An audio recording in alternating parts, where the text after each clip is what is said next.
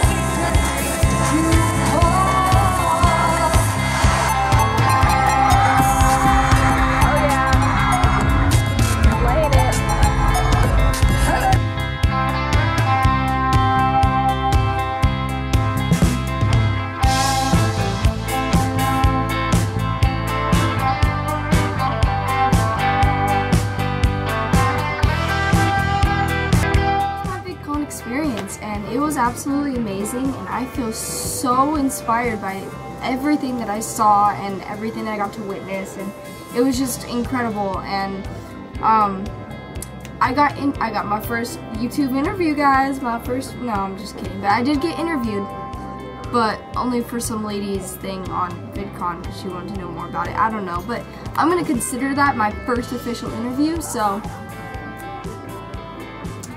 uh, hopefully I, will be going to VidCon next year, and if you want to meet me, because I'm cool, um, I'll meet you maybe at VidCon next year, so, yeah, bye!